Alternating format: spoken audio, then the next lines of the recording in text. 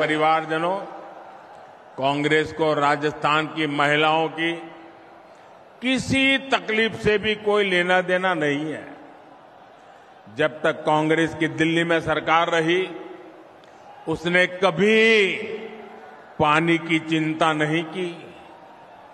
भाजपा की केंद्र सरकार ने चार वर्ष पहले हर घर जल पहुँचाने का अभियान शुरू किया।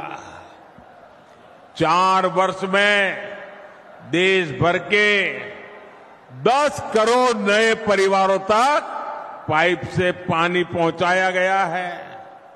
लेकिन यहाँ की कांग्रेस सरकार उस तेज़ी से काम करने ही नहीं दे रही है। जिस तेज़ी से काम करना हम चाहते हैं वो रुकावटें डालती रहती है। यहाँ तो पानी की उस योजना में भी भ्रष्टाचार को बढ़ावा दिया जा रहा है।